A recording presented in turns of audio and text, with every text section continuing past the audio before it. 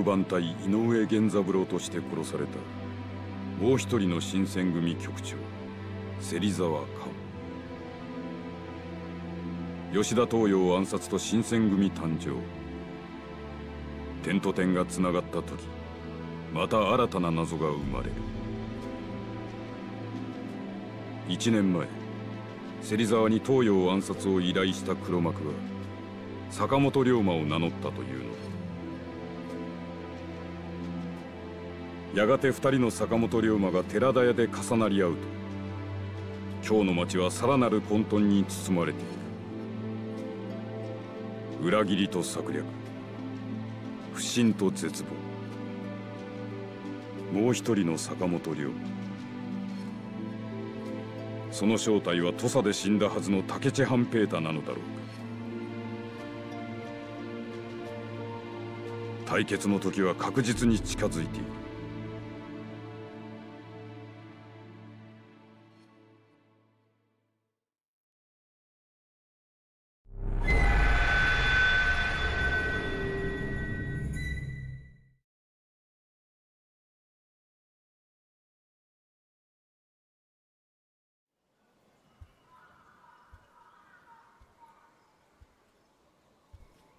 寺田屋ではでけえ魚を逃がしたもんだなあんた。見回り組の邪魔が入ったな。連中は勝林太郎に動かされていたらしい。それで結局坂本龍馬の正体は分からずじまいか。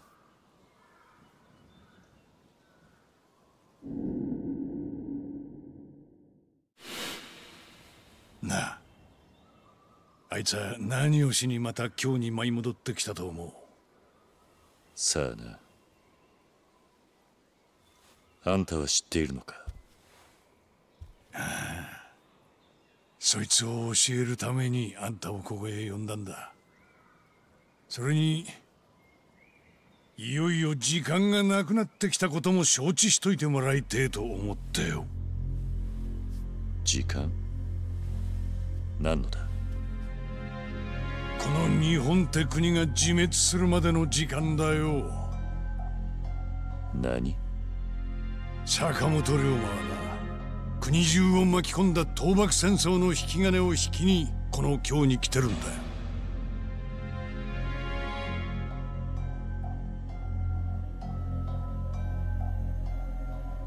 坂本龍馬は今までずっと倒幕戦その下準備が整う。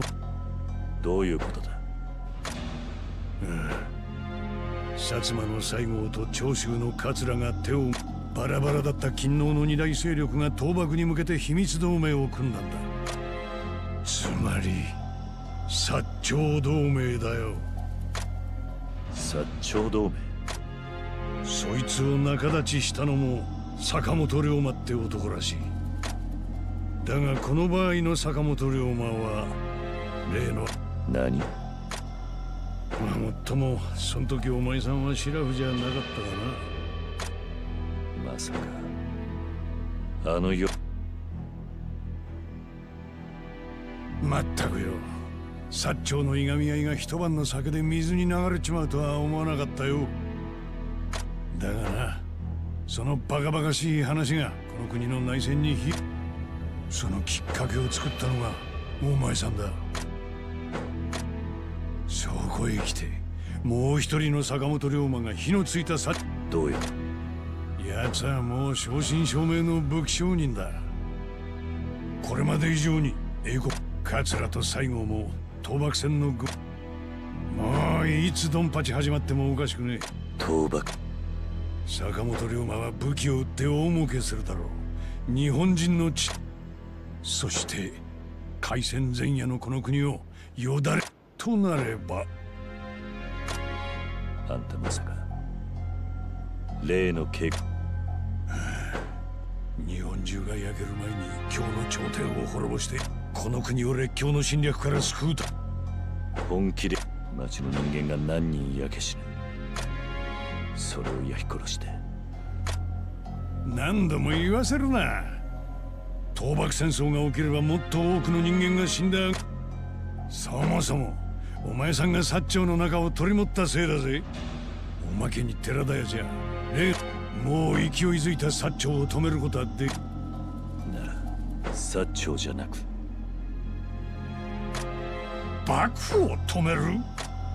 ああ幕府か。仮にだが薩長にし幕府に白旗を上げさせる。300年この国を支配してきた幕府にか待てよおい。確かにその手は薩長が戦争を引き起こす力を手に入れた今だからこそ徳川が聞くみ例えばそうだな。幕府の持つ政権を徳川将軍幕府の政権を味方ああ大政奉幕府がこの国の政権を手放せばもう薩長が幕府相手に戦争を起こす理由はなくなるここは一つ将軍に直談判でもして白旗できるのか？できるわけねえ。だが。斎藤をはじめいや坂本龍馬これまで俺なりにあんたという人間を見てきたがそれにあんたにはあの沖田みてえな男まで動く。何を言ってる？いやこれは今もし江戸城にいる将軍様に忍びで会いしかも心動く。ああ龍馬さんよ。俺が。江戸城には夜にでも何とか忍び生きて帰るのは不可能にち。だが将軍に大政法。将軍の寝床。言い出しっぺはそれにもしこの大政奉還を徳川が飲めばもう一人の坂本龍馬も。どういうことだ？向こうは薩長を派手に引き込んで戦争のだが戦争ってのは準備だけでもすその邪魔をされたとなりゃ例の坂本龍馬は黙っちゃいねえ。まあうんそん時は計画ただしあんたがもう一人の坂本龍俺は前にも江戸に行ったがちょうどいいんだな。ああ上出来だ。だがまず新選組の幹部が一人で京を出たと。江戸へ行くなら一晩待って夜明け前今日のところはいつもど。鈍書か？観察の山崎進に。例の坂本なるほど。何がだ？山崎は昨べ屯所にある土蔵の中で殺されてた。何だと？お前さんが山崎の正体を知ったことでもう一人の坂本龍馬の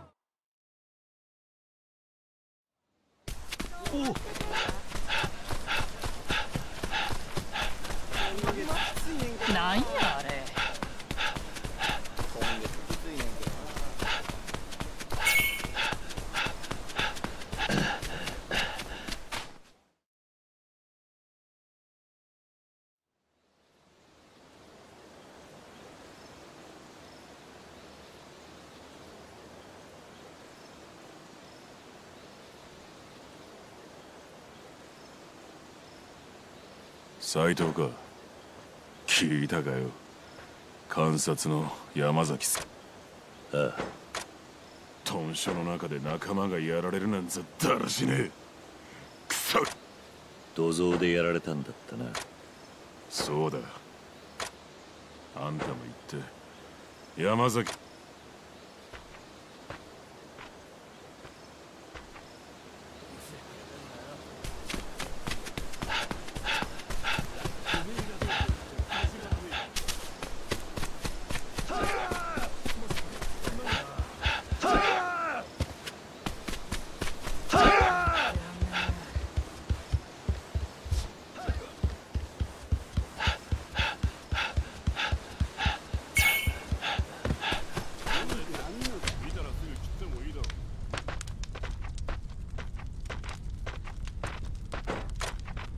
今の死体が山崎です。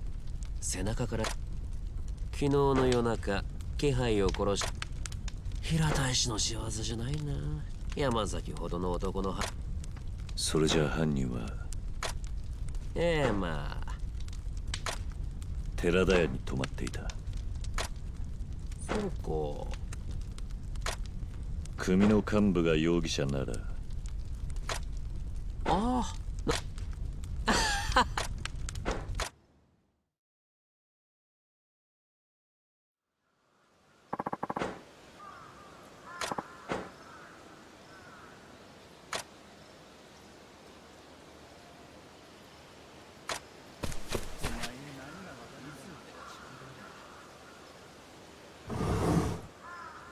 斉藤君。なんだ？君に聞くのもなんだが近藤さんはどうしている？何？とぼけなくても君が近藤さんと会って会って何を話しているんだ？局長。最近のあの人は秘密が多いようでね。例えば君は薩長が秘密同盟を組んだ。さあな。俺には関係だが近藤さんは知っているはずだ。そしてそれを黙ってあの人は私と違って国士だからな。国士。天下国家のために自分が何をできるかいつも考えている人間。その近藤さんにとって薩長堂なのになぜ何も動き出さないのかと思って。この先近藤さんから何か聞かされたら私に俺は人と話したことを別のやつに漏らすよ。あんたと話したことを近藤に言う局長のことを知りたきゃ直接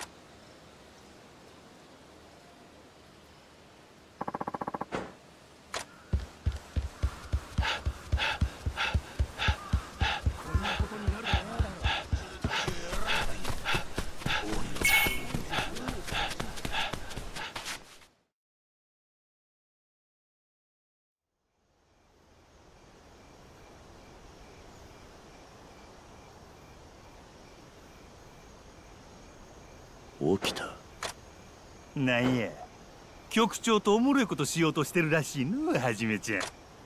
何？とぼけ。水臭いで。おもろいこと独り占めし。わしも一緒に行くで。二人で将軍様に。断ると言ったそん時はおも殺されに行くようなもんなんだぜ。せやからおもろい。それにもっとおもろいのはこれがうまくいけばああわしらの敵は同じ。一番隊の隊長。分かった。だが出発は夜明けだ。なるほど。お互い夜明けまでお楽しみっちゅうわけや。江戸城の将軍の寝床に押し込むんだ。上等や。せやけどお前は寺田屋に別れの挨拶する女がおるんてあそこのおかみ豊島の割にえらい。いやそっちじゃ。え？何でも。そしたら夜明けわしも寺で。それまではじめちゃんもせ嫌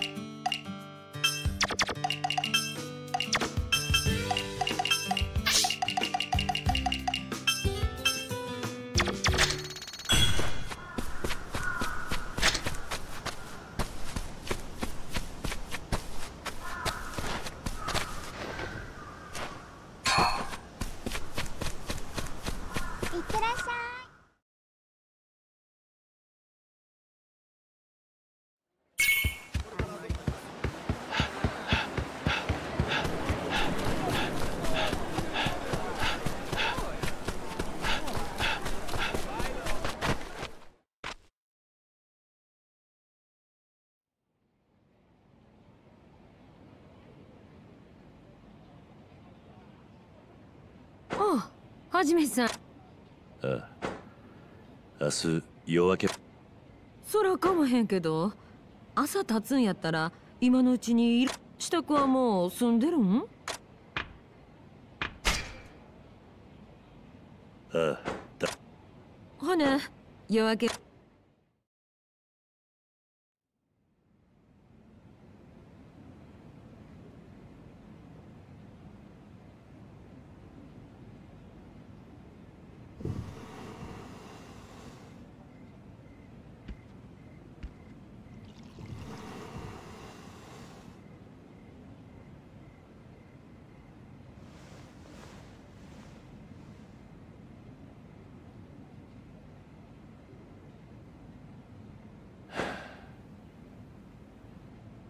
観察の山崎進はえ？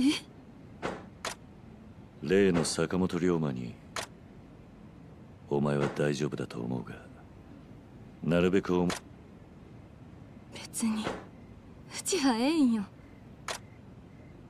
いや俺の存在がそんなこと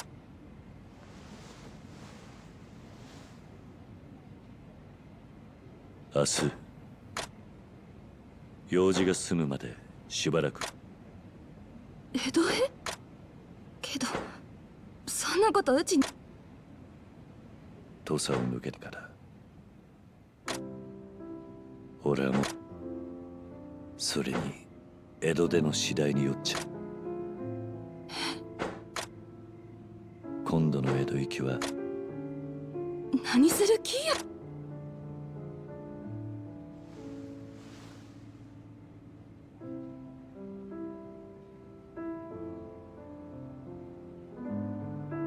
江戸城の将軍の寝床に直談判。冗談みてえな話だが寺田屋に戻れなくなるとすると。心の？あんたの作った飯。はじめさん。それをその時は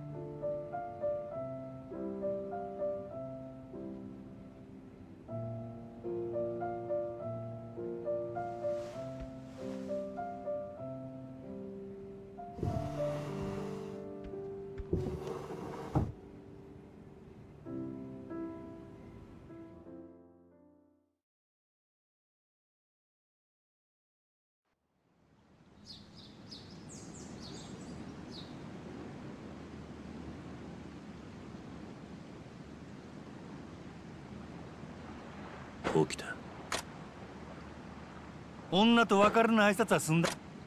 あんたの知ったことじゃ。んへえやないかわしの方あんたにこれ渡せ言われたわ。その手紙。近藤さんからや。徳川将軍への。あんたの馴染みってのは 将軍に会えたらこいつを見せろ言うとったで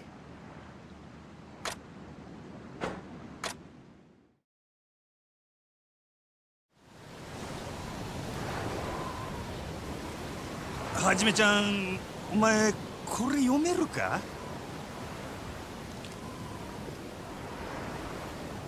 あっちゃやっぱりあかんか。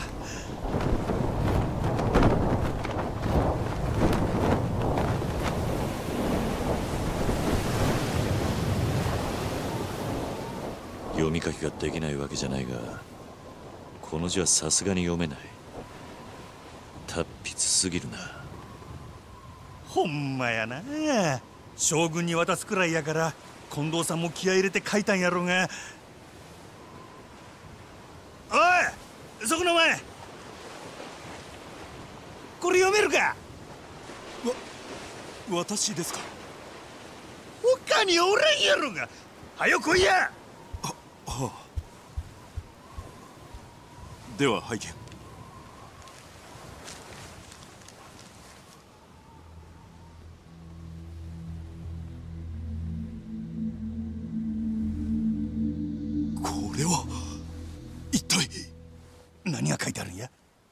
何と言いますか？ととんでもないことが。だからなんやっちゅうねん！ままずこの一番初めのこの一文ですが。1天下の政権を朝廷に奉還せしめ精霊よろしく朝廷よりいずべきこと。何のこっちゃ？これは幕府の持っている政権を朝廷に返すってことですこんな手紙持っているだけで幕府の人間に殺されますよ。ああそれやったら問題ないわ。わしらがその幕府の人間や。まさか本当ですか？本当だ。それよりその先を続けてくれ。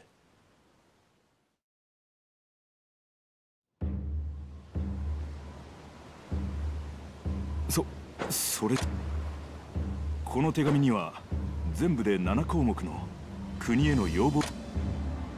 国へのよええ。まず最初がさっき言った幕府の政権は朝廷に譲るという。その後は政権を持った後の朝廷への提案がつどういう内容だ？ええ。箇条書きですがまず議員というものを置いて話異国との不平等条約を改定すること。国の憲法を正都を守る兵を組織すること。金銀を異国と同じ値段にすること。以上。最初。要するに。あそしたらここに要望を書いたらと。いや聞くのは。将軍でも朝廷でもかまわしらもなんか書いたるやないか。何命がけでこの手紙将軍にほんなら新選組の隊長。新選組の隊長？あなた方。そや。せやからお前今言う一つぐらい足したって。でも人の手紙を。どうせ金をくれと書いたとこで将軍にも朝廷にも無視さ私もそうだお前は黙っときほなはじめちゃんやったら何を書く？こ国への要望なら。あ俺の国じゃ生まれた階級階級に縛られつく。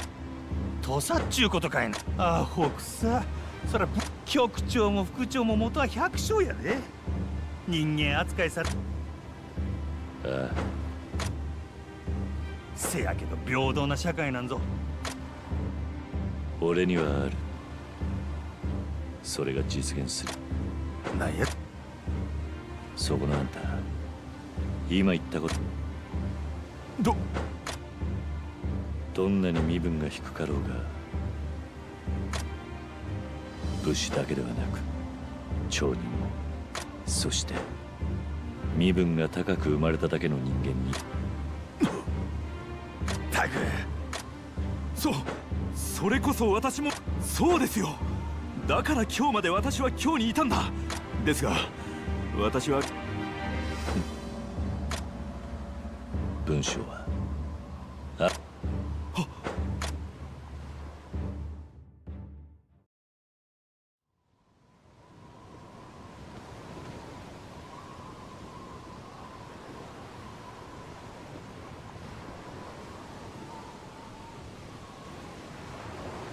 有罪の苦行諸行及び天下の人材を俺たちが目指したそうだよな。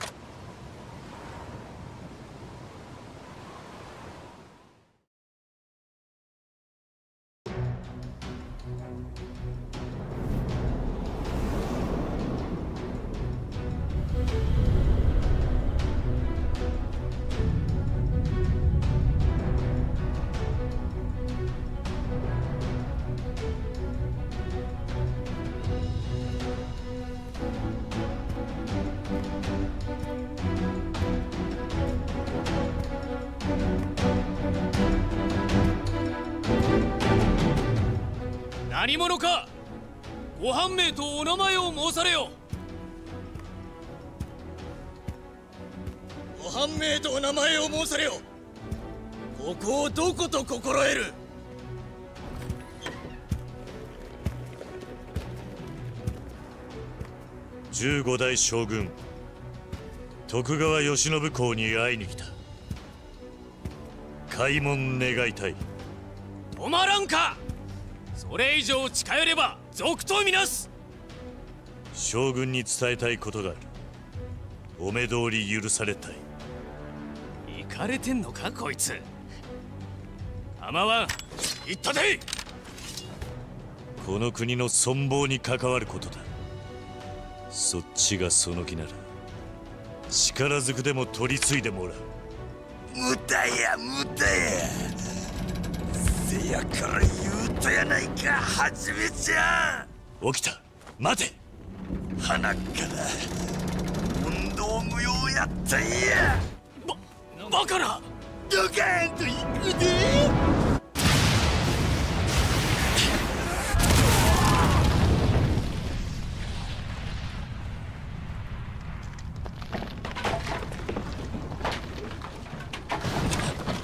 なんてこと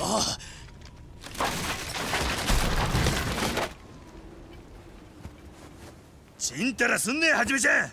さっさと将軍様を叩き起こすんやあんたは張り切りすぎだ。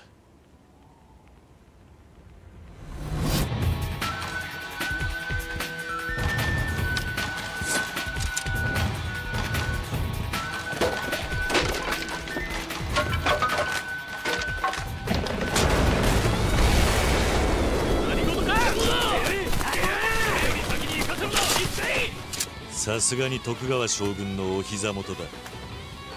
歯応えがありそうだぜ。それでこそ江戸まで来た甲斐があるってもん行くぞ。起きた。待ってるれ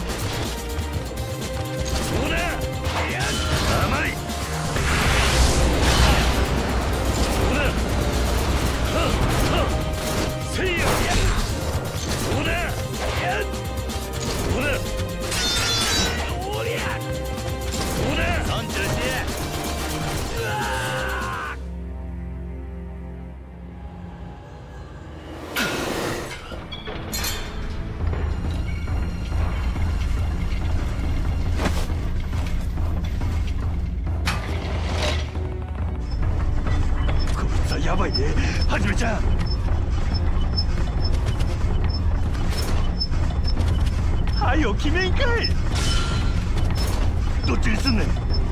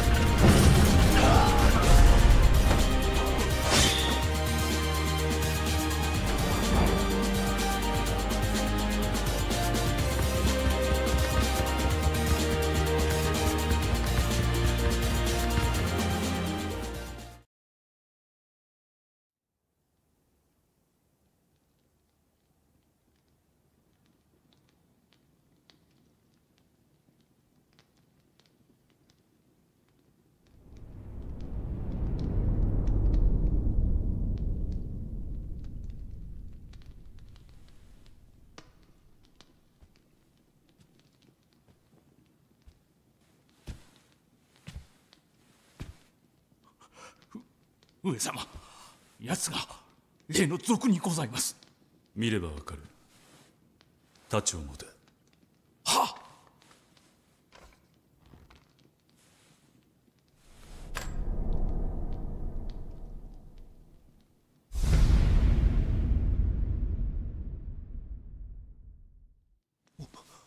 お恐ろしく手だれの者たちでございます。たった二人でここまでその方何が目的だ？あんたが徳川将軍か。なるほど。俺の顔も知らんか。だがたった二人でここまでたどり着いたのは見事だ。お前の狙いはこの慶喜の首か？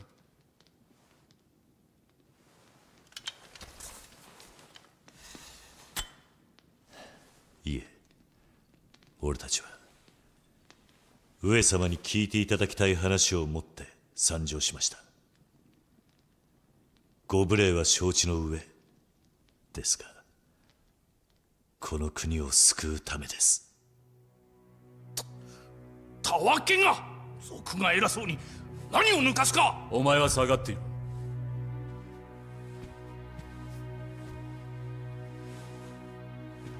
お前たちも手を出す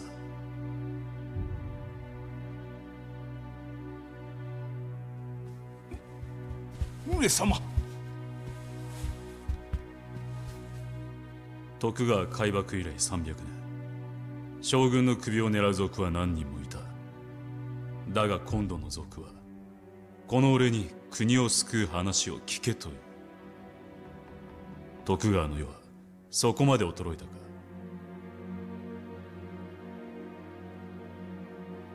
俺に話を聞かせたいのなら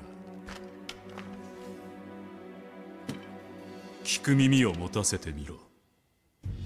安心してかかってくるがいい。一度命令を下した以上この者たちはたとえ俺が死んでも手は出さそれが上様のお望みなら。遠慮は無用だ。お前も国を救うというならそれに準ずる覚悟もあるのだろ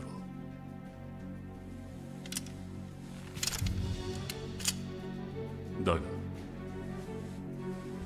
俺も伊達に将軍を名乗る男じゃないんでな。行くぞ!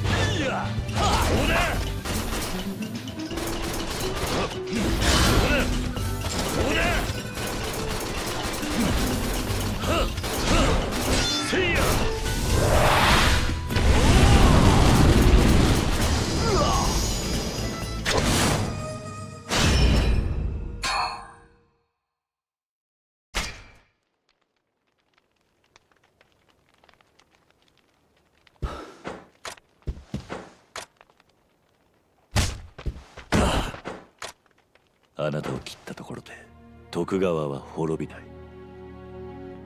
頭を今それを倒すために薩長同盟そのことは当たり前だ。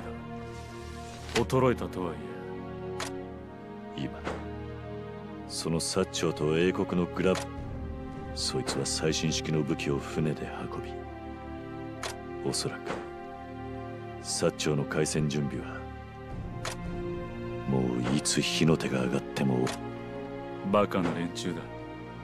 今日本人どだがお前俺は日本人同士の戦争を避ける。戦争を避けるさ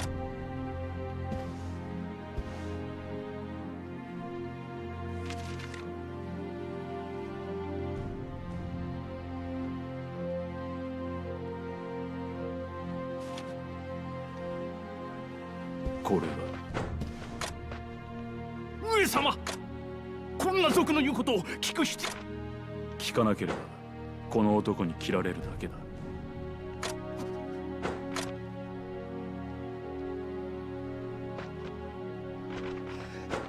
おうこっちは。済んだではじめちゃんこっちももう。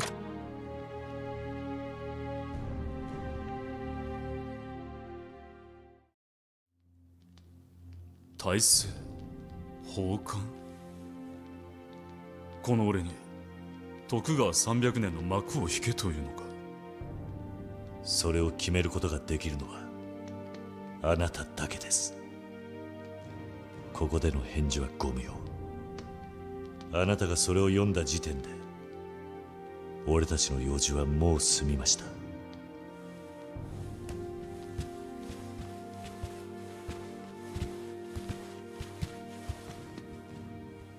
一。有罪の苦行職を及び天下の人材を顧問に備え感触をたまえよろしく従来有名無実の官を除くべきこと。この国の階級社会を潰せばどんな混乱が起きると思う？混乱するのは今まで階級社会にあぐらをかいてきたほんの一握りの連中だけです。なるほど。確かにそうかもしれんな。上様。なりませんぞそんなことは。どうか冷静なご判断を。その方名を何と申す？土佐藩士。坂本龍馬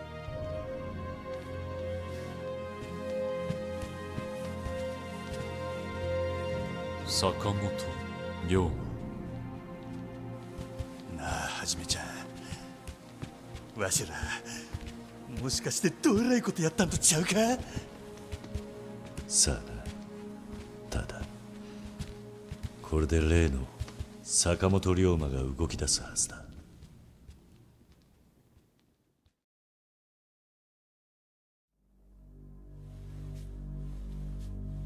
まさか徳川が政権を返上するとはな。こうなると桂と西郷も倒幕戦争を引き起こすだけの口実がない。少し面倒なことになったな。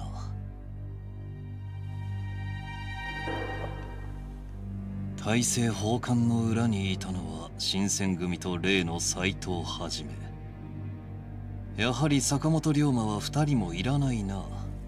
そうは思わんか？坂本さん。